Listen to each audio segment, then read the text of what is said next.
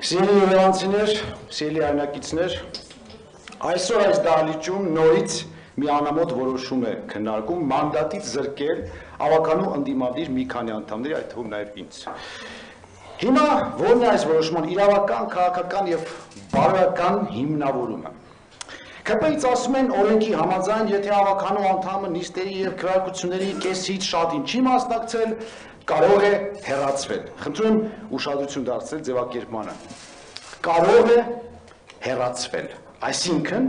կարող է եւ չէ հեռացվել։ Բայց այդպես հայացողության հարց է։ Հա? Ինչու նախորդ գումարման ժամանակ չեք հեռացնում ձեր տասնյակ թիմակիցներին, որոնք տարիներով, ոչ թե ամիսներով, տարիներով նիստերին չէին մասնակցում, որովհետեւ ձեր դեմ դուրս չէին գալիս, Գիտեք ում եք հեռացել անցած գումարման ժամանակ։ Լուսինե Մխոյանին, հղի կնոջը իդեպ։ Այն բանի համար միայն որ երբ որ ինձ քաղաքապետի պաշտոնից հանում էիք, նա ձեզ չմիացավ։ Այս եք դուք։ Հիմա մեզ եք հանում, որովհետև այո, ձեր դեմ ենք դուրս եկել, բանջում ենք ձեր հրաժարականը։ Այդ դրա համար եք հեռացնում, թե չէ նոր ենք, բան, բացակայություն է, սա լոլոներ են։ Մարդիկ մեզ ընտրել են 5 տարով ու դուք 3 ամսվա գալ չգալու համար ինձ հանում եք։ Ո՞վ է ձեզ այդ իրավունքը տվել։ Դուք եք ինձ այդ մանդատը տվել։ Թե կարողա մտածում եք դուք իմ գործատուն եք։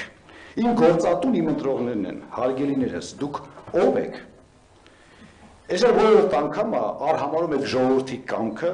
Երևանցիների տված քվեն։ Բացի դրանից,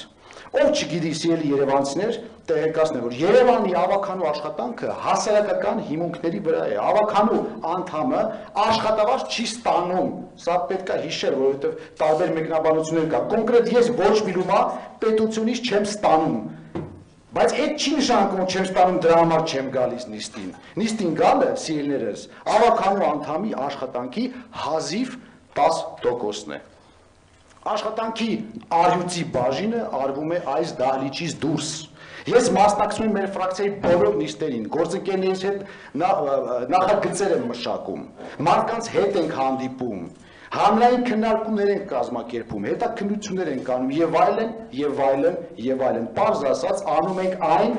ինչ պետք է անի նորմալ գործունյա ավականի։ Չի։ Դա գիտակցված որոշում է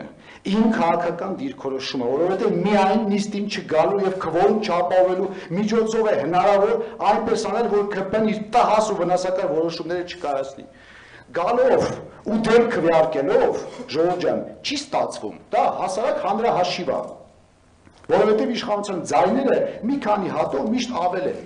բայց իրանք ավել չեն, իրանք փոքրամասնություն են, բայց այստեղ երկու հոգի ընդհանուր ընդդիմությունից, նո այսպես կոչված նաև ընդեղ ընդդիմություն կա,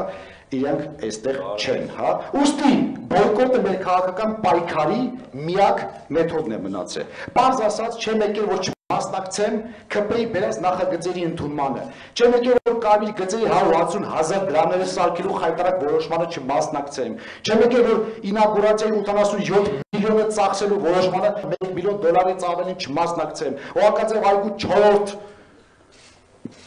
այդ մասը չբետոնապատեմ, որ տրանսպորտի գները չթանկացնեմ։ Հա, ու որ ասֆալտի վրա միլիարդավոր դրամերի ծախսելու ամբողջ քաղաքը փոսի մեջ թողնելու որոշմանը չմասնակցեմ։ Դուք տեսել եք քաղաքի վիճակը, փոսերը տեսել եք, այսպիսի վիճակ վերջին անգամ 90-ականին եք տեսել։ 30 Այնքան այնքան այնքան վատա վիճակով մարդիկ ինձ ասում են, «Էս ի՞նչ է»։